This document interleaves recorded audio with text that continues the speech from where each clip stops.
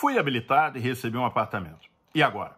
Visite o condomínio. Procure o síndico e pergunte sobre os valores das taxas condominiais ordinárias e extraordinárias já aprovadas e que você terá de pagar todo mês. As taxas ordinárias são cobradas para pagar as contas fixas do condomínio. Por exemplo, os direitos dos trabalhadores, a limpeza do condomínio, as contas de água, de luz, dedetização, limpeza do sistema de esgoto, caixa d'água, pagamento de prestadores de serviços regulares, como, por exemplo, os de contabilidade. Já as taxas extraordinárias, por sua vez, são aprovadas para a realização de consertos, obras ou melhorias no próprio condomínio, geralmente despesas extras imprevistas, ou ainda para pagar outras dívidas, como, por exemplo, as despesas com um processo judicial trabalhista de antigos funcionários.